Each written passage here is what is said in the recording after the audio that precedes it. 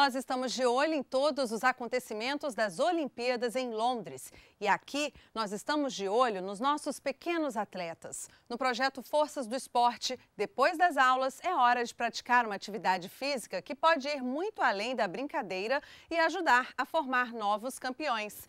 E quem sabe um deles sai daqui de Brasília, onde muitas crianças estão aprendendo a velejar. É o que mostra a reportagem de Patrícia Scarpim. Nestas águas, o vento sopra em direção às oportunidades. Os competidores que estão velejando nas águas do Lago Paranoá têm entre 7 e 14 anos e fazem parte do programa Segundo Tempo, que visa inserir crianças e adolescentes na sociedade. O projeto Segundo Tempo tem o objetivo de socializar as crianças, tirar de áreas de risco. Então, o público atendido são crianças que moram em área de risco, sujeitos a, a uso de drogas e coisas piores, a criminalidade. Para participar do projeto, que é uma parceria entre o Ministério da Defesa e o Ministério do Esporte, as crianças e adolescentes devem atender a três requisitos: devem estar matriculadas na rede pública de ensino, morar em área de risco e ter baixa renda. Lucas tem 12 anos e há 5 treina na modalidade vela. Que nós antes ficava, ficava em casa, aí eu fazia meu dever, eu, eu ficava lá cuidando dos meus irmãos. Aí minha mãe pegou e colocou e meu irmão na marinha. Aí vai colocar minha irmã agora. Acho bom pra mim. Pra não ficar na rua, né? Raimundo é instrutor de vela e observa de perto a evolução dos garotos, no esporte e como pessoa. Eles mudam, como se diz, é da água para o vinho, né? Comportamento, é, é um aprendizado. E a gente vê que o semblante dele muda, o semblante se abre, né? Em todo o país, o segundo tempo atende 12 mil crianças e adolescentes em esportes como vôlei, basquete, tênis e vela, por exemplo. O coordenador nacional do projeto diz que, além dos valores e das habilidades esportivas, os estudantes têm direito a transporte para os treinos, acesso a refeições e aulas de reforço nas matérias que eles têm dificuldade na escola.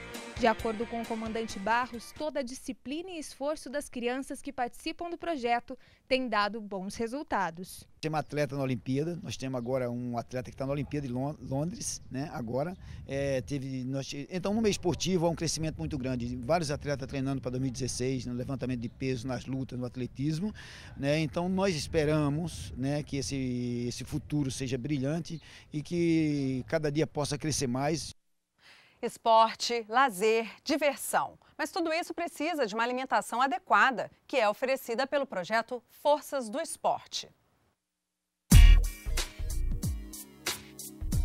O Varjão é um bairro da periferia de Brasília que começou quando pessoas que não tinham onde morar ocuparam o lugar.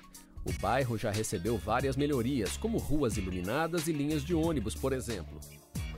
Mas existem áreas em que as ruas não têm asfalto as casas são construções precárias de madeira e a luz elétrica vem de ligações irregulares. A população que vive aqui depende do Estado para quase tudo. E foi aqui que o projeto Forças no Esporte encontrou o Joseias, uma promessa para o atletismo nacional. Joseias, o que é que significa esse projeto para você?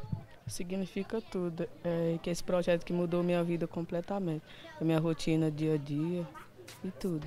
Outros jovens do mesmo bairro também foram encaminhados ao projeto pelo Centro de Assistência Social do lugar. Três vezes por semana, eles pegam um ônibus da Marinha e vão para o grupamento dos fuzileiros navais.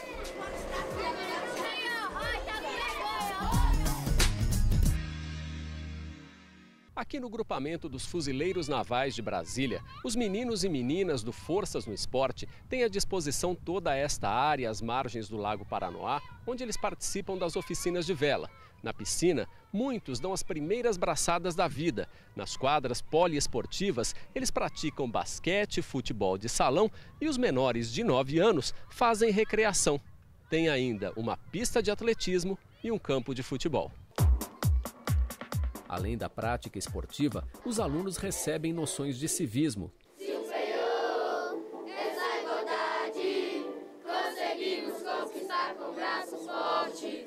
E também de disciplina. Mas a parte mais importante para muitos deles é a hora da refeição. Em fila, eles entram no refeitório, pegam o prato e os talheres e se servem quantas vezes quiserem. O almoço é garantido por recursos que o Ministério do Desenvolvimento Social repassou para o Ministério da Defesa. Foram 4 milhões de reais para dar refeições três vezes por semana a 15 mil estudantes que fazem parte do programa Forças no Esporte em todo o país. Tem arroz, feijão, uma carne e salada tem ainda um refresco e depois uma sobremesa. Uma alimentação que recarrega as baterias dos pequenos atletas da força, velocidade e resistência, e que para muitos desses meninos e meninas é a única refeição do dia. É o caso do Leonardo, que entrou para o projeto cinco anos atrás. É bom para o futuro, que a gente já aprende outras coisas, tem competição e, e é bom para a gente. Aí vai, cada pessoa vai trazendo outra pessoa, e isso que é bom. Alimentação, instrução e as atividades recreativas oferecidas pelo programa Forças no Esporte são complementos importantes para a prática esportiva. É assim que Joseias, o garoto do bairro pobre de Brasília, pode chegar muito, muito longe. Mês passado ele fez um teste junto com os fuzileiros navais, um teste de 12 minutos, e ele ganhou de todos os militares nossos adultos do grupamento muito bem preparados. Eu posso falar que, que ele é uma promessa para o Brasil, não a nível de Distrito Federal, mas para o Brasil. E é assim que os fuzileiros navais querem que esses garotos levem o nome e a bandeira do Brasil para o pódio. O projeto é extremamente importante para essas crianças, exatamente por eles conseguirem estar fora dessa situação de risco, por não estarem em casa sem fazer nada.